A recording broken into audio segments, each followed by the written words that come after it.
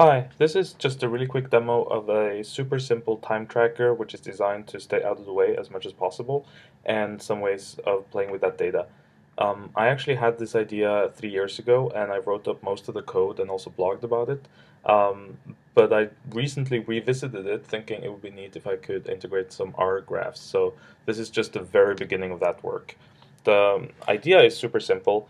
Um, we have a bunch of um, categories that you see here, um, one for each uh, number button, and you can set those categories any way you want. I differentiate between reading for my PhD, other work I do, a few paid projects I'm working on, and some other stuff I do.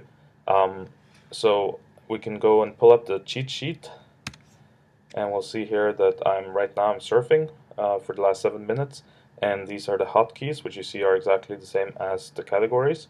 And so if I want to switch to something else, let's say I want to do an errand, I can just press the right button and you see here that it's switching. It says last thing you did was surfing, now you're doing errands. And the um, way it tracks time is it just writes the time code and the category to a text file, one text file per day. So here you see errands was just added to this text file. And then of course if I want to see what I've been doing all day, because oftentimes you wonder at the end of the day, where did all my time go? Um, I just press another button and it pulls up a nice graph shows me I've been working for six hours and eight minutes in front of the computer and um, spend most of my time on errands I spend some time learning and so on. And this nice graph is actually generated using R.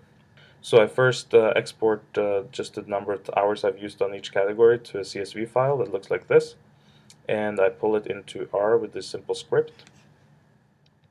So I'll just load the library I pull in the data and you can see the data here.